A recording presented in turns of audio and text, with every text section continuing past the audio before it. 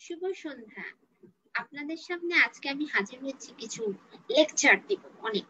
সেজন্য তো বেশি কথা না বলে এখন সরাসরি লেকচারে চলে যাই। আপনাদেরকে প্রথমেই আমি একটা ছবি দেখাবো। একটা ছেলে ছবিটা দেখে হয়তো আপনারা চিনতে পারছেন। ওর ছবিটা খুব ভাইরাল হয়েছে সম্প্রতি। ওর নাম সামিন।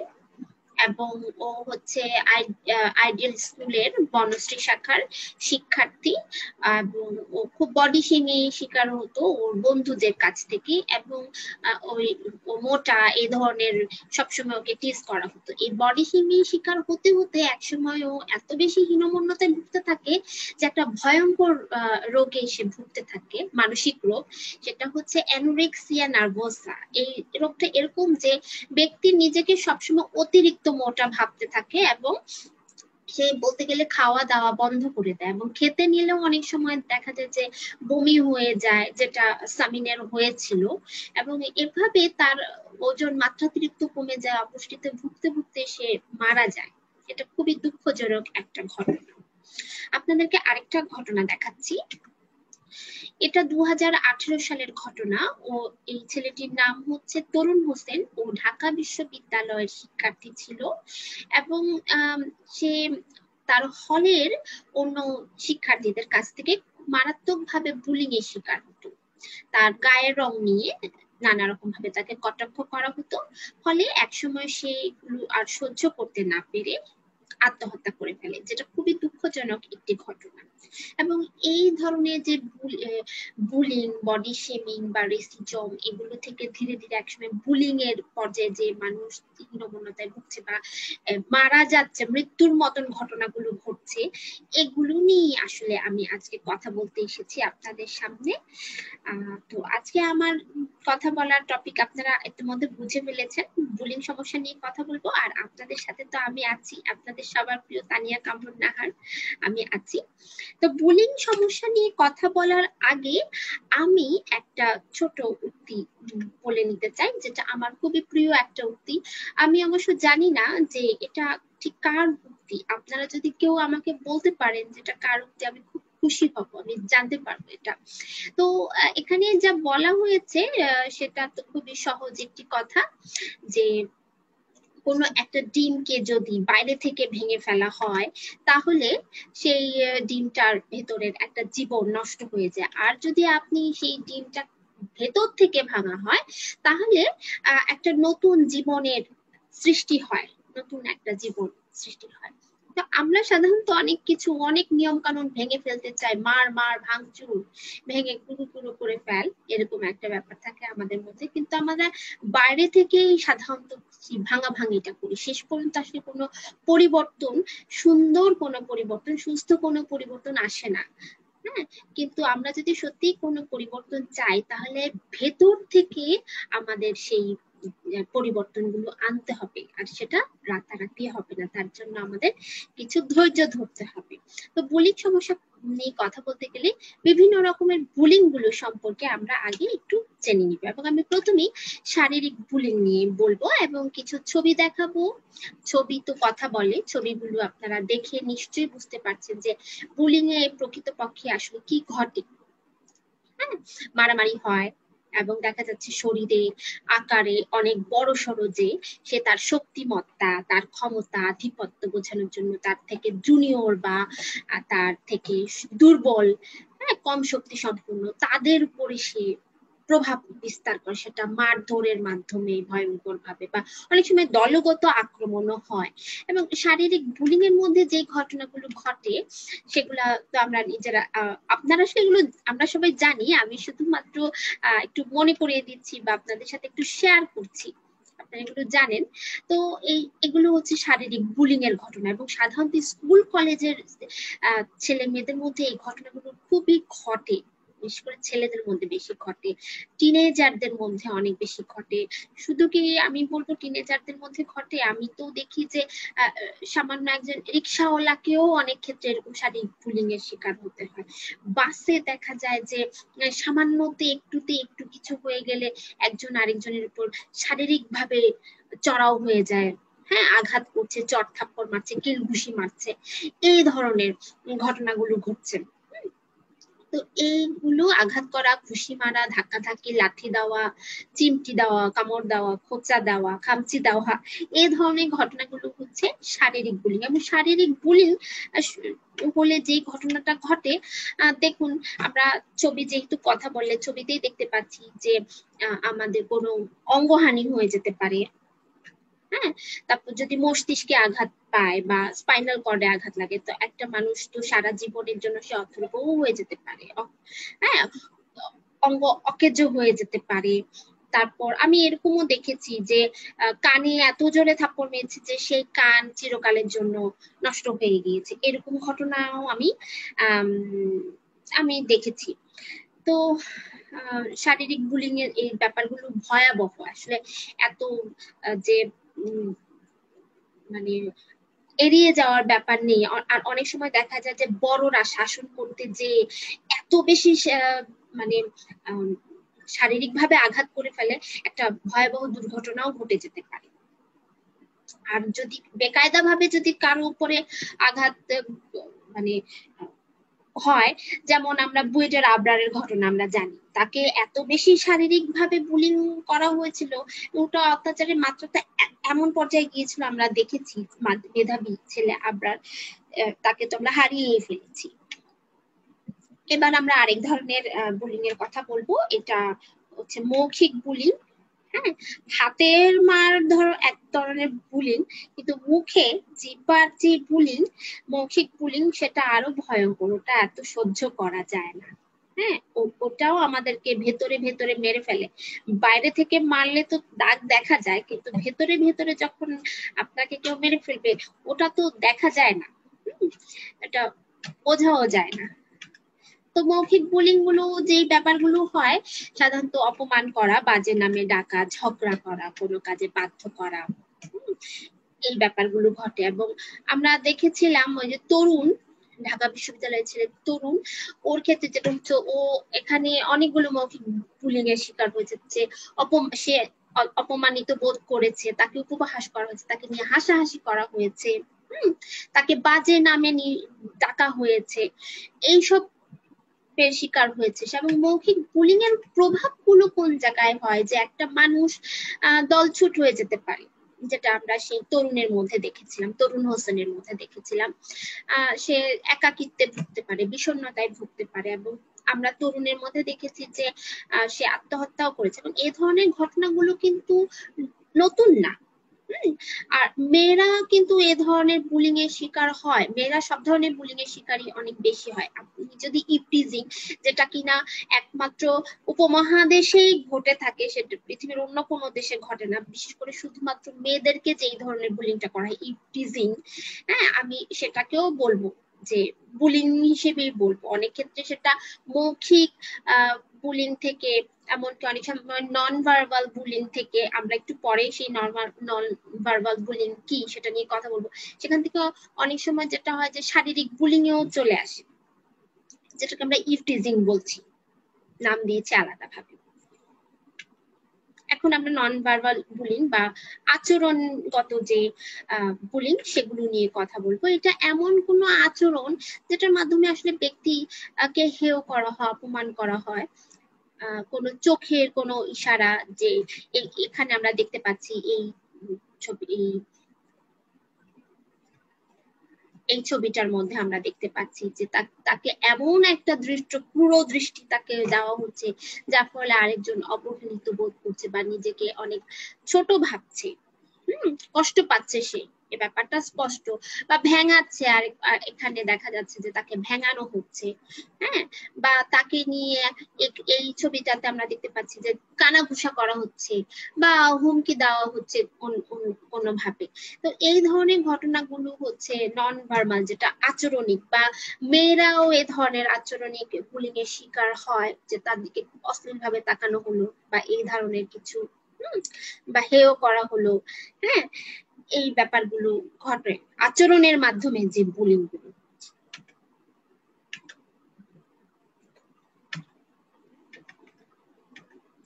আমরা এখন দেখছি যে আচরণিক বুলিংগুলো কি কি।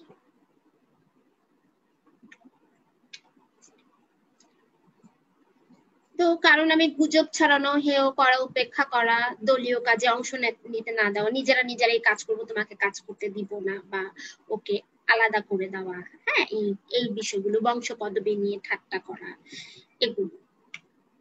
এবং এই ধরনের বুলিং যে শুধু নারীরাই শিকার হয় তা না, বিশেষ চাহিদা সম্পন্ন শিক্ষার্থী বা মানুষ, তারাও এ ধরনের আচরণের বুলিং এর শিকার হয়। বেশি, আমরা এমনিতে যদিও বলি যে কানাকে কানা বলিও না খোরাকে খোরা বলিও না, কিন্তু আমরা আসলে এ ধরনের মানুষদেরকেই, বিশেষ চাহিদা সম্পন্ন মানুষদেরকেই বা শিক্ষার্থী বা শিশু, তাদেরকেই বেশি বুলিং করা হয়। ওদেরকে খেলায়ও নেওয়া হয় না অনেক সময়।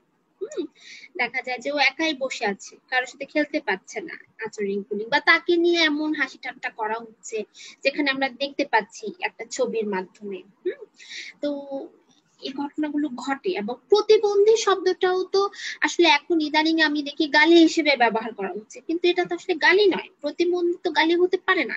কারণ একটা মানুষের নিজের জন্মের উপরে কারও হাত নেই। সেই আপনি বা আমি প্রতিবন্ধী হয়ে জন্মাতে পারতাম। কোনো না কোনো ভাবে আমরা সুস্থভাবে জন্মি, জন্ম হয়ে গিয়েছে আমাদের। বর্তমানে এখন সাইবার বুলিং আরেক ধরনের বুলিং নিয়ে কথা বলছি, যেটা এখন প্রকট আকার ধারণ করছে বর্তমানে সাইবার বুলিংটা আর আর করোনাকালীন সময় আমাদের বেশিরভাগই হোম অফিস করতে হয়। ছেলে মেয়েরা স্কুল করছে অনলাইনে হ্যাঁ যার কারণে সাইবার বুলিং এর পরিমাণটাও অনেক বেশি বেড়ে যাচ্ছে। এখন তো দেখা যাচ্ছে যে তেরো, চোদ্দ বছর বা আরও কম বয়সীরাও মোবাইল ব্যবহার করছে। ফলে ওদের সাইবার বুলিং এর ঝুঁকিও অনেক বেশি।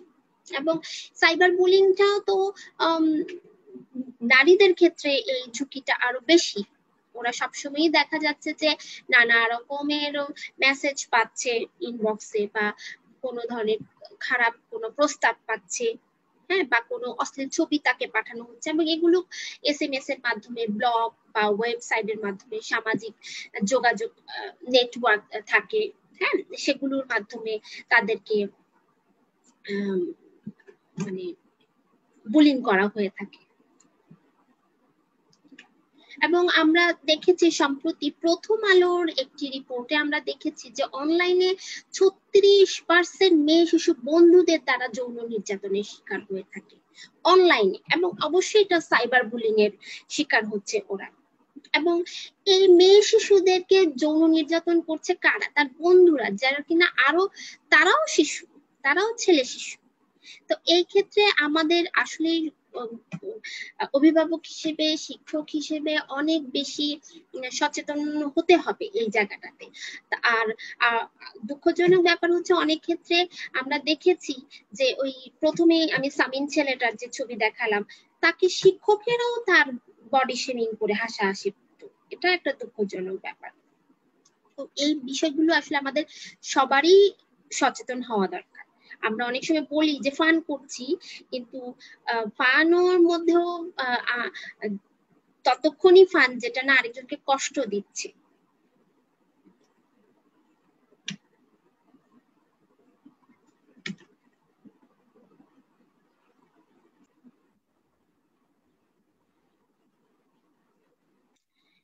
আমরা দেখব যে বুলিং এর প্রভাব কি হতে পারে। বুলিং তো হচ্ছে নানা রকম শারীরিক তারপর মৌখিক আচরণিক নানা রকমের বুলিং হচ্ছে, কিন্তু সেটার প্রভাবটা কোন জায়গায় পড়ছে? ব্যক্তির উপর। জি, আর বিশেষ করে অনেক ক্ষেত্রে শিশুরাও বুলিং এর শিকার হচ্ছে। বুলিং এর কুপ্রভাবগুলো আমরা দেখছি যে সেই ব্যক্তি নিজে প্রতিশোধ পরায়ণ হয়ে উঠতে পারে। আগ্রাসী হয়ে উঠতে পারে, সে আক্রমণাত্মক হয়ে উঠতে পারে, তার নিজের ভিতরে আত্মবিশ্বাস কমে যেতে পারে, তার মধ্যে আত্মহত্যা প্রবণতা তৈরি হতে পারে এবং সেখান থেকে সে আত্মহত্যা করেও ফেলতে পারে। আঘাত পেতে পারে সে, যেটা শারীরিক বুলিং এর ক্ষেত্রে সে খুব প্রচণ্ড ভাবে আঘাত পেতে পারে। মানসিক বুলিং এর ক্ষেত্রেও সে মানসিক ভাবে আঘাত হতে পারে। সে ভীত, লাজুক হয়ে উঠবে। তার মধ্যে আত্মবিশ্বাস কমে যাচ্ছে, যেহেতু বিষণ্ণতায় ভুগছে, হীনমন্যতায় ভুগছে এবং সে দলছুট, একা থাকার প্রবণতা থাকবে সে। এরকম। বা অমনোযোগী হয়ে উঠছে সে। ফলে দেখা যাচ্ছে তার, সে পরীক্ষায় খারাপ রেজাল্ট করছে, মনোযোগ দিয়ে পড়ালেখা করতে পারছে না ক্যারিয়ারে সে সফল হতে পারছে না। এমনকি সেই যে সে আরও বেশি আগ্রাসী হয়ে নিজেই আরও বেশি আক্রমণাত্মক হয়ে উঠছে। অন্যের উপর সে আক্রমণ করছে। তার মধ্যে সন্দেহ প্রবণতা সৃষ্টি হতে পারে অহেতুক যে সারাক্ষণ বুঝি তাকেই বুলিং করা হচ্ছে বা এরকম।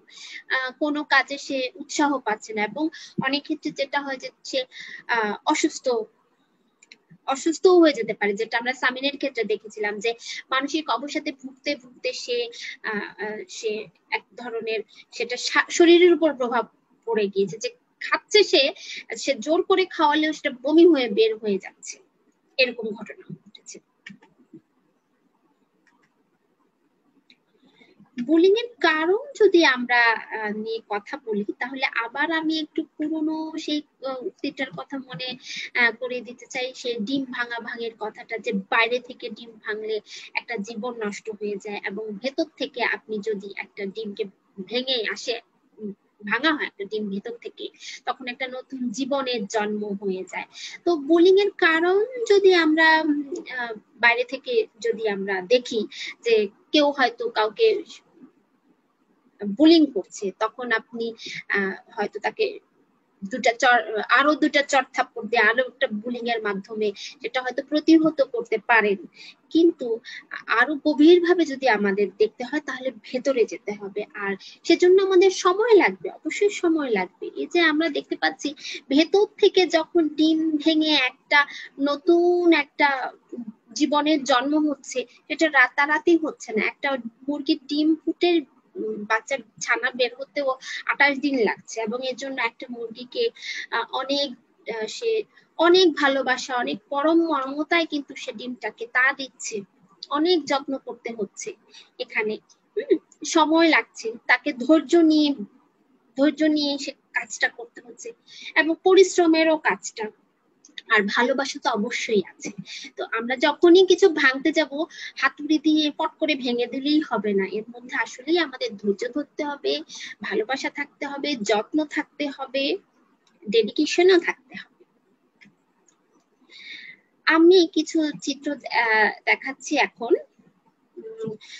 ছবিটার মধ্যে আমরা দেখতে পাচ্ছি যে একজন মা খুবই আগ্রাসী ভঙ্গিতে তার ছেলের সাথে কথা বলছে এবং তার ছেলেও, এই ছেলেটি, সেও তার মায়ের প্রতি খুবই রূঢ় দৃষ্টিতে তাকিয়ে আছে।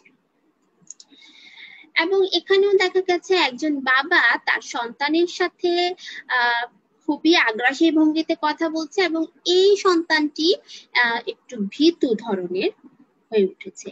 এবং পরবর্তীতে এই যে যে মায়ের কাছ থেকে যে আগ্রাসী একটা আচরণ পেয়েছে এই ছেলেটি সেও কিন্তু পরবর্তীতে একইভাবে ভীতু ছেলেটির সাথে খুবই আগ্রাসী আচরণ করছে এবং বুলিং সেও এক ধরনের বুলিং হয়ে গড়ে উঠছে। এবং যেই ছেলেটি তার বাবার কাছ থেকে বা বড়দের কাছ থেকে পরিবারের কারও কাছ থেকে বুলিং এর শিকার হয়েছে যে কিনা একটু ভীতু, লাজুক হয়ে গড়ে উঠেছে, সে বন্ধুদের কাছ থেকেও যখন আরও বুলিং এর শিকার হচ্ছে, সে আরও ভয় পাচ্ছে, সে আরও চুপচাপ হয়ে যাচ্ছে, সে আরও হীনমন্যতায় ভুগছে, তার আত্মবিশ্বাস আরও কমে যাচ্ছে। এই যে সামান্য আচরণ আচরণ থেকেই মানুষের মধ্যে কতখানি পরিবর্তন ঘটে যাচ্ছে?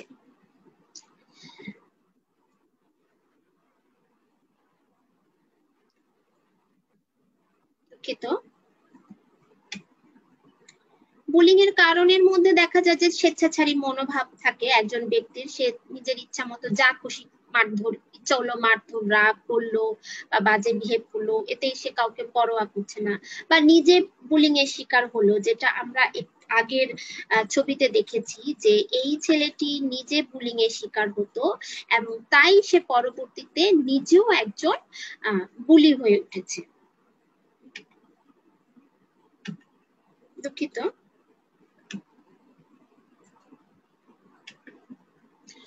এছাড়াও ক্ষমতা, প্রতিপত্তি, শক্তিমত্তা দেখানোর জন্য বুলিং করা হয়ে থাকে। অনেকে হেয় করার জন্য বুলিং করা হয়েছে এবং উশৃঙ্খলা কারণ উশৃঙ্খলাও বুলিং এর একটি কারণ। ঈর্ষা থেকেও বুলিং করা হয় আরেকজনকে অবদমিত করে রাখার জন্য। ঈর্ষা থেকে যেটা নিজের কাজ দিয়ে যেখানে বড় হওয়া যায়, সেভাবে বড় না হয়ে আমরা অন্যকে হেও করে, ছোট করে, ঈর্ষার থেকে কাজগুলো করে তাকে ছোট করে রাখছি আমরা। নিজের প্রভাব বিস্তার করার জন্য। স্বার্থপরতা থেকে নিজের সম্পর্কে অনেক উচ্চ ধারণা থাকে অনেকের। হ্যাঁ সেখান থেকে যেটা দেখেছিলাম আমরা বডি শেমিং সামিন বা তরুণ হোসেন বা আরও উদাহরণও যদি আমরা দেখি হ্যাঁ নিজের সম্পর্কে উচ্চ ধারণা থাকলে তখন অন্যদেরকে আমরা হেয় করছি। সেটা এক ধরনের বুলিং অধ্যত্ত থেকে নেতিবাচক আলোচনা সমালোচনা বা প্রশংসা না পেলেও কিন্তু মানুষ একসময় বুলিং করে। সবসময় নেতিবাচক কথা যখন কেউ পায়, খুব বেশি ইমোশনালি অ্যাডজাস্ট হয় যখন, তখন কিন্তু তা এত বেশি নেগেটিভ এনার্জি পায়, তখন সে নিজেও কিন্তু তখন অন্য কেউ ঠিক একইভাবে ট্রিট করে এবং এইসব ক্ষেত্রে অনেক ক্ষেত্রে অভিভাবকের প্রশ্রয়ও থাকে। অনেক সময় বলা হয় যে, আপনার সন্তান এই কাজটি করেছে, কিন্তু অভিভাবক কোনো তার আচরণ সংশোধনের কোনো পদক্ষেপ নেন না, প্রশ্রয় দেন, ফলে আচরণগুলো আর সংশোধন হয় না। এবং আমরা এই আরেকটা ছবি দেখতে পাচ্ছি। এখানে আমরা একটা চক্র দেখতে পাচ্ছি। একটি শিশু শৈশবে এক ধরনের পুলিং এর শিকার হতো এবং সে কিন্তু তার মনের ভিতরে সেই তার যে আতঙ্ক বা একটা যে নেগেটিভ হিংস্র যে আচরণটা, তার ভেতরে কিন্তু জমা হয়ে আছে, কোনো না কোনো ভাবে জমা হয়েছে। এবং সেই ক্ষোভ নিয়ে সে বড় হচ্ছে, তার ভেতরে সেই জিনিসগুলো রয়ে গেছে। এবং পরবর্তীতে সেও যখন প্রাপ্তবয়স্ক হয়েছে, সেও পরবর্তী প্রজন্মের সাথে একই ধরনের আচরণ করছে। এটা একটা দুষ্ট চক্র এবং এই চক্রটা আমাদের ভেঙে বের হয়ে আসতে হবে। আমরা অনেক সময় বলি, আরে আমরাও তো বাপের হাতে কত মায়ের খাইছি, স্যারের হাতে কত মায়ের খাইছি, বড় ভাইদের কাছে কত মায়ের খাইছি।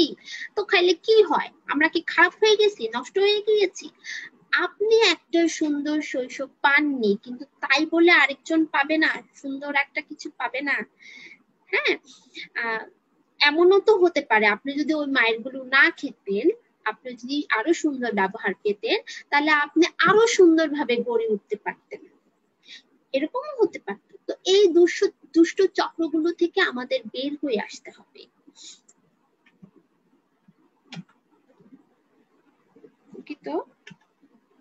এবং কোনো একটা বুলিং এর ঘটনা যখন ঘটে, তখন কি কি ঘটে? একজন বুলি নিশ্চয়ই কোনো রেইনফোর্স পায়, কোনো একটা স্টিমুলেশন পায়, যেখান থেকে তার বুলিং এর যে সে সেটা পায়, তখন সে একজন ভিকটিমকে আক্রান্ত করে। ভিকটিমের সাথে কোনো একজন ডিফেন্ডার থাকে, অবশ্যই ভিকটিমেরও কোনো বন্ধু থাকে যে কিনা বুলিকে থামাতে চায়। হ্যাঁ আবার অনেক সময় দেখা যায় বেশিরভাগ ক্ষেত্রে দেখা যায় অনেক ক্ষেত্রে বুলি যে করছে, তার কিছু অ্যাসিস্ট্যান্ট থাকে, সেও বুলি করাচ্ছে। কিছু থাকে দর্শক, তারা কাজে বাধা দিবে না, কিছুই না, তারা মজা দেখতে আসে। কিছু থাকে রিপোর্টার থাকে এবং দেখা যায় যে একটি স্কুলে যখন বুলিং ঘটে যে বুলি করেছে সেই যে প্রথম অভিযোগটা করে আসে। হ্যাঁ? তো ওই ক্ষেত্রে অনেক সময় পুরো ঘটনাটা বাইরে থেকে দেখলে বোঝা যায় না, আসলে কে ভিকটিম হ্যাঁ? এবং যে অভিযোগ করে সে এমন ভাবে যে বলে মানে সেই ভিকটিম বুঝি এই ধরনের। এবং রেইনফোর্স রেইনফোর্সের মাধ্যমে আমরা তার আচরণ বদলাতে পারি পজিটিভ নেগেটিভ রেইনফোর্স এগুলো আমরা পরবর্তীতে আচরণ, এই বিষয়গুলো নিয়ে কথা বলব।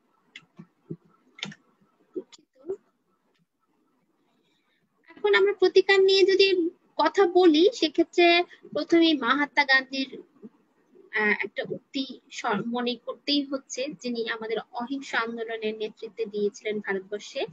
চোখের বদলে চোখ নিতে থাকলে একদিন পৃথিবীর সবাই অন্ধ হয়ে যাবে। আমি বুলিং এর শিকার হয়েছি, সেজন্য আমি রাগে, ক্ষোভে আমিও যদি আরেকজনকে বুলিং করি, সেটা করা যাবে না। সেই দুষ্ট চক্রটা ভেঙে আমাদের বের হয়ে আসতে হবে। একটা জায়গায় যে আমাদের থামতে হবে। চোখের বদলে চোখ নিতে থাকলে আসলে একদিন পৃথিবীর সবাই অন্ধ হয়ে যাবে। তাহলে আমরা করবোটা কি? আমাদের যে কাজগুলো করতে হবে বুলিং থেকে বের হয়ে আসতে হলে ভালো কাজের প্রশংসা করতে হবে। আমরা কিন্তু আসলে সুন্দর প্রশংসা করতে পারি না। আমরা তোষামত করতে পারি। যত না প্রশংসা করা, তার থেকে বেশি প্রশংসা করে ফেলতে পারি। কিন্তু সত্যিকারে যে প্রশংসা, মন থেকে, হৃদয় থেকে, সেই প্রশংসাটা আসলে সুন্দরভাবে করতে পারি না। করতে চাইও না। করতে চাইও না অনেক সময়, কিন্তু করতে হবে। যেটা হয় যে, ভালো কাজের প্রশংসা করলে মানুষের মধ্যে সেই কাজটা, ভালো কাজটা করার আরও উদ্যম তৈরি হবে। আপনি নিজেই প্রশংসা করে একটা মানুষের মধ্যে ভালো কাজগুলো উদ্যম তৈরি করে দিতে পারেন আপনি। যদি আমরা মনে করি প্রশংসা করলে একজন মানুষ অহংকারী হয়ে উঠবে, খুব। হ্যাঁ তো সেই প্রশংসার ক্ষেত্রেও সেটা পরিমিত বোধ থাকতে হবে। এবং উৎসাহ দিতে হবে ভালো কাজে। নিজেও করতে হবে। এবং আমরা যে বুলিং যে করবেন না ছোট ছেলে মেয়েরা যেটা, যার বিশেষ করে যারা শিক্ষার্থী, তারা স্কুলে কলেজে তার নিজস্ব শিক্ষা প্রতিষ্ঠানে দেয়াল লিখন করতে পারে। তারা নিজেরা ছোট নাটক করতে পারে। অনেক সময় স্কুলে প্রোগ্রাম হয়, সেই নাটক করতে পারে, সচেতনতামূলক নাটক করতে পারে। তারা পোস্টারিং করতে পারে। এভাবে যে বুলিং এর যে কুফলগুলো নিয়ে কথা বলতে পারে সচেতনতা বৃদ্ধির জন্য এবং নিজেরাও কখনো পুলিং করবে না। হ্যাঁ এই বিষয়গুলো নিয়ে আসলে আমাদের সবারই একটু একটু করে সচেতন হওয়া উচিত। আরও যেটা করতে পারি, আমরা যেটা আসলে সব থেকে সহজে করতে পারি, আমরা নিজেরাই নিজেদের আচরণটা বদলে দিতে পারি। আমরা নিজেরা অন্যের প্রতি সহনশীল হতে পারি। এই যে এখানে আপনি দেখুন, আমরা দেখতে পাচ্ছি যে, আহ খুবই সহনশীল আচরণ করা হচ্ছে। ওই শিক্ষা ওই প্রথমে যেই ছেলেদেরকে আমরা দেখেছিলাম, সেই শিশুদের সাথেই সুন্দর আচরণ করা হচ্ছে, হাসি মুখে কথা বলা হচ্ছে এবং তাদের আচরণটাও কিন্তু খুব পজিটিভলি আমরা দেখতে পাচ্ছি এবং তারাও এখানে কিন্তু ঠিক পজিটিভ আচরণ করছে পরস্পরের প্রতি এবং তারাও খুব ভালো বন্ধু হয়ে উঠছে।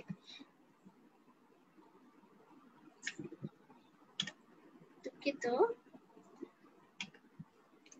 এছাড়া আমরা যেটা করতে পারি আরও শিক্ষার্থীরা যদি এ ধরনের সমস্যা নিয়ে আসে, আমরা তাদেরকে কাউন্সিলিং করতে পারি। ওরা অনেক সময় আমাদের কাছে তাদের সমস্যা নিয়ে কথা বলতে আসে।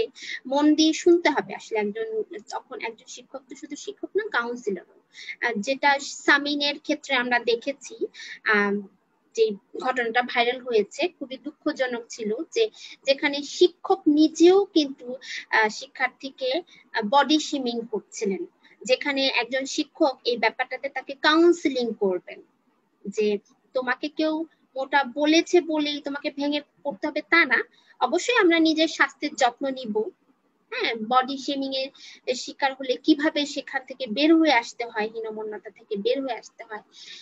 এবং প্রতিটা মানুষই যে আসলে সুন্দর, সেই বিষয়গুলো সম্পর্কে সচেতন করে দেওয়ার কাজটা কিন্তু একজন শিক্ষকের, একজন বাবা মায়ের এই বিষয়গুলো নিয়ে আসলে আমাদের সচেতন হওয়ার দরকার আছে। তো এগুলোই ছিল আসলে আমি লেকচার দিতে চাচ্ছিলাম আজকে এই বিষয়গুলো নিয়েই। অনেক কথা বললাম অনেক বক বক করলাম। আপনারা আপনাদের মতামত জানাবেন। ধন্যবাদ।